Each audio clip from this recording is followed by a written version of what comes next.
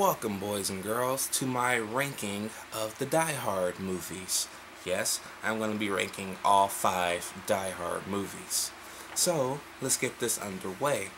In at number five is.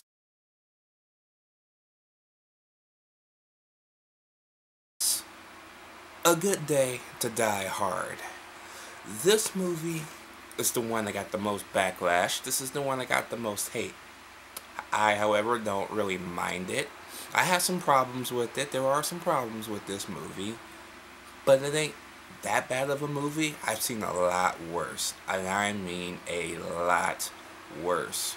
The fact that John McClane kept saying I'm on vacation the whole time did get fucking annoying real quick. But it wasn't really something that would bother me in the long run. And the villain wasn't very memorable, but he was kind of goofy, which kind of helped a little bit. Sometimes you can I like a silly villain, kind of like Simon Gruber. He, there was a sense of humor behind him, but he was dead serious most of the time. I kind of got that vibe from him, but not as awesome as Simon Gruber. But yeah. In at number four, we have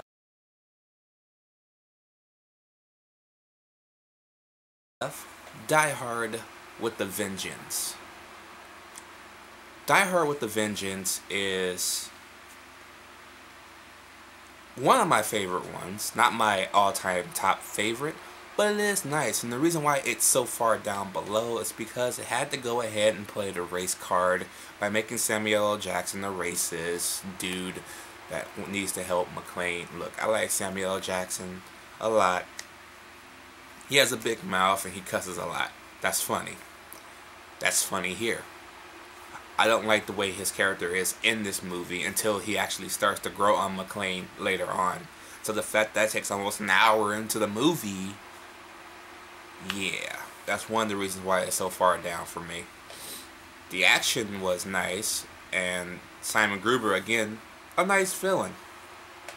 His brother is still the best, though, but yeah, Simon was alright. He's alright. You know, it's Jeremy Irons too, so yeah. Action was nice. The story could have been a little bit better. But driving around New York City looked like fun. And it was fun in the Die Hard Trilogy video game, so I will give it that. And that number three.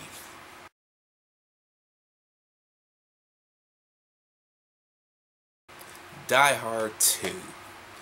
Die Hard 2 is the most underrated Die Hard film to date.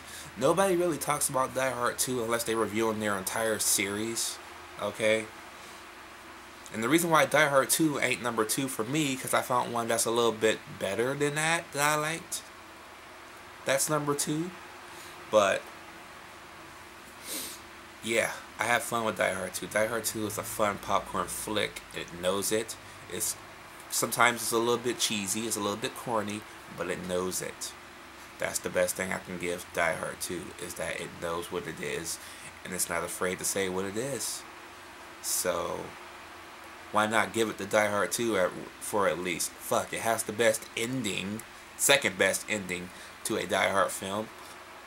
Okay, Who, whoever think about trying to blow up a 747 straight out of midair by just lighting a, a trail of jet fuel on the fucking ground, and it actually worked. Okay, that's that's insane, but it's awesome. it is fucking awesome. And at number two.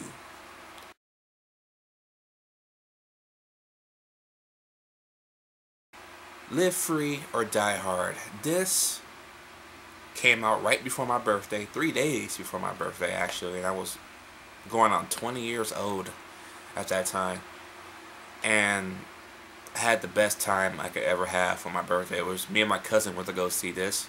He liked it too, and by looking at the first trailer and seeing that it was PG-13, I was fucking shocked.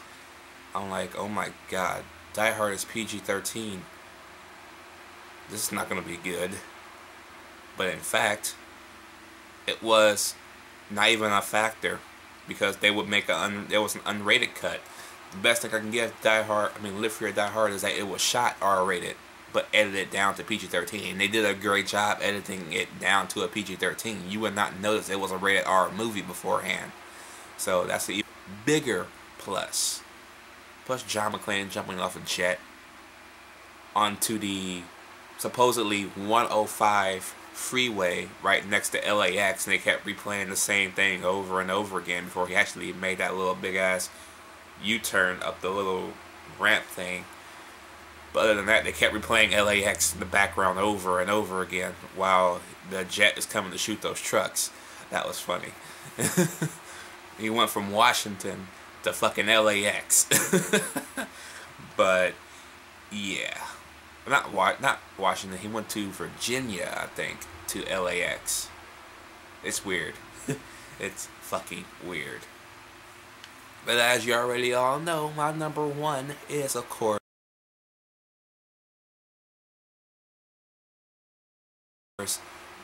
Die Hard. You cannot have a Die Hard list and not have Die Hard 1 as your number one. The one that started it all. The one that's the reason why I'm sitting here doing this video. Fan of uh, Die Hard today. And ironically, the best villain in movie history with Hans Gruber. It doesn't get no better than that. Made an action star out of Bruce Willis. The man coming off of fucking moonlighting. Which, is an okay movie, but that one I probably will watch again, unless I want to review it. But Die Hard gave him that start. It was awesome. Everything about this movie was awesome. Fucking, uh, um, what's his name? Carl Winslow stood out in this fucking movie. How do you make the fucking guy from Family Matters stand out in a Die Hard movie? But they did it. John McTiernan did it. He did it with number three, but he, he made number one the best for me. Stuck in the building with 12 terrorists. What was it? 43 stories high?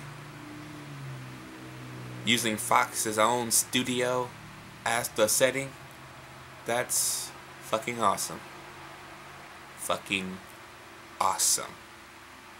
And that is my list for my ranking of the Die Hard movies. Let me know down below what is your list of ranking of ranking the Die Hard films down below.